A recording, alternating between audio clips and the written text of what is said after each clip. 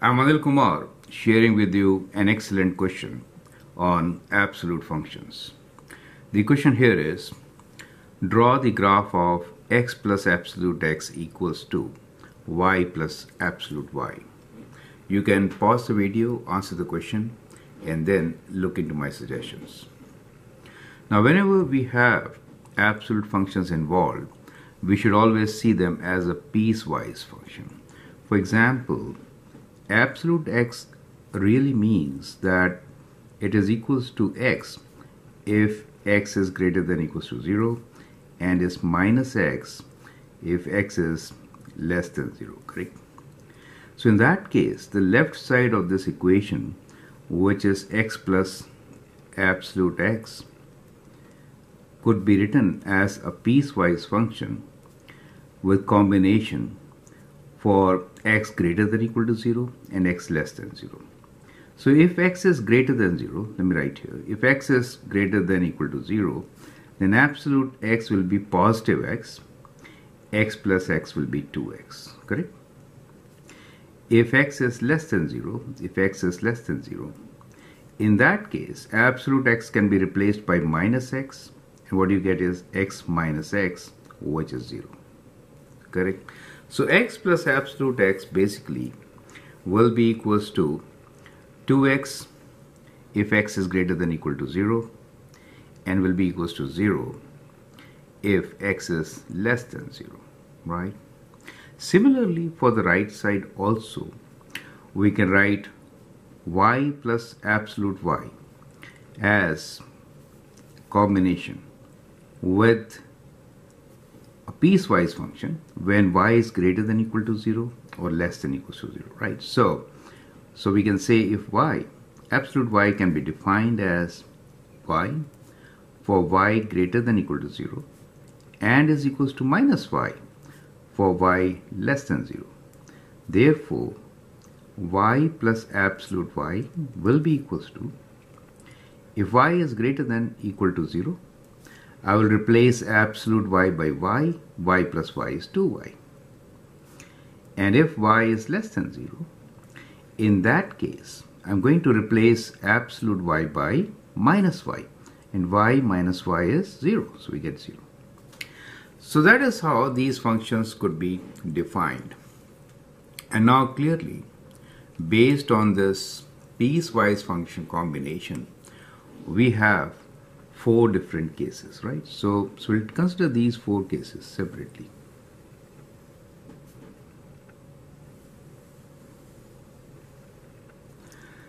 So, uh, okay, so let's divide this page into these four cases.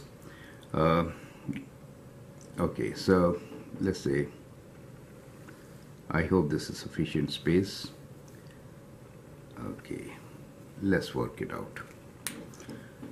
Now, we could take a case when both are positive, right?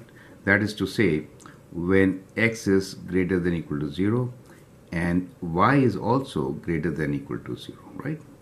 In that case, so we are considering the first case, which is this portion, right? So in this case, we could write this expression as x what we have here is instead of writing if x is greater than equal to 0 then x plus absolute x is equals to 2x right? So we have we are solving this equation. Let me write down the equation first. It'll be easier so this is the equation which we are solving correct? Let me write down all intervals first. So first combination let us take as both positive and then let's take this positive and that negative. So let's take x greater than equal to 0 but y is less than 0 okay. And now let me take x less than 0 and with that we'll take y greater than equal to 0 and when x is less than 0 we'll take y less than 0 right? So so these are four cases which we'll solve individually right let me also, as we, I mean, work on this, uh, let me kind of sketch here what we want to sketch is that function, right? So let me make a space here for that. Okay.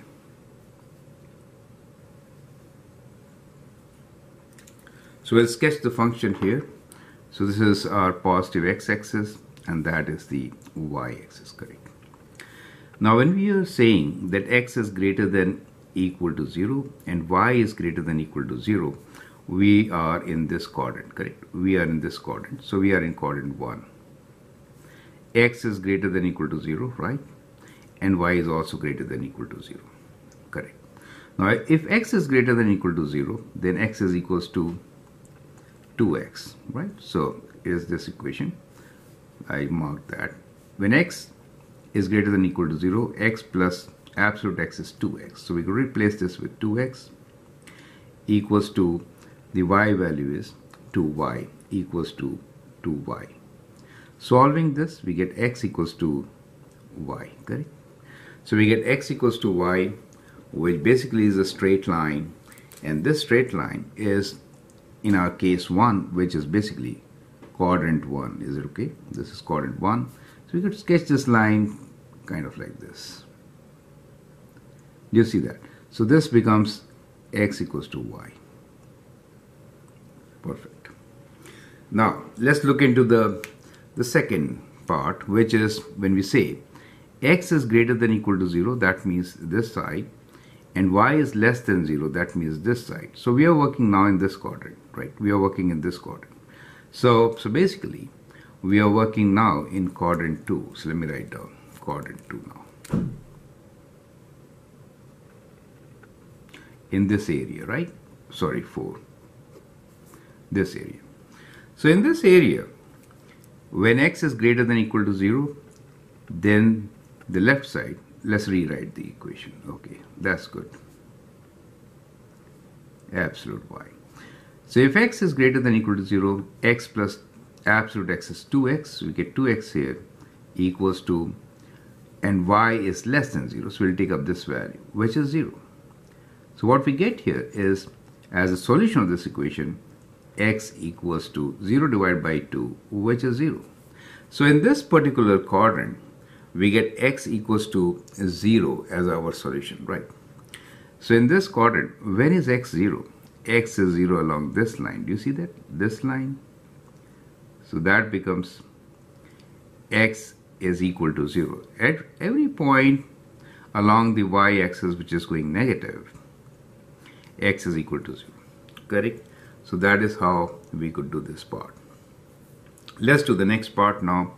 We're talking about x less than 0. That means we are on this side, I mean, and y is greater than equal to 0. That means y is positive.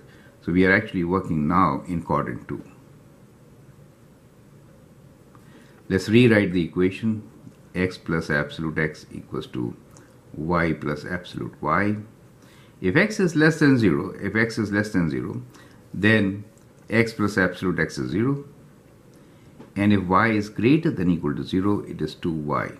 Right? So in this case, we get 0 equals to y. So the y value is 0 in this case. right? So in quadrant 2, y value 0, which means this chord, this axis. Is that okay? y is 0 in this. So that is what we get as part of our graph. Correct? Now let's look into the last one which is both are less than 0 right? So that means both are less than 0 both are negative. So we are now working in quadrant 3 okay. So in this quadrant let me write down the equation first. Okay. So if x plus absolute x is less than 0 then the left side is 0 and the right side is also equal to 0. 0 equals to 0 means what? 0 equals to 0 means every point in this quadrant is part of our solution, right? So basically, we can fill this up. So we have this whole thing as a part of solution. Is that okay? So you can say it's a plane. This whole quadrant is, is a part of our solution. Do you see that? So that becomes the part of our solution and as a whole, what we get as a result is that in quadrant 1 we have a line which is x equals to y right?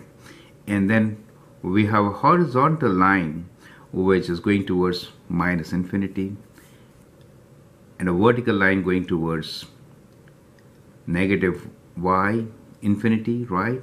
And the whole quadrant 3 so that becomes part of our graph which represents x plus absolute x equals to y plus absolute y. I'm Anil Kumar and I hope that this explains the concept well enough. You can always share and subscribe to my videos and feel free to post questions. Thank you and all the best.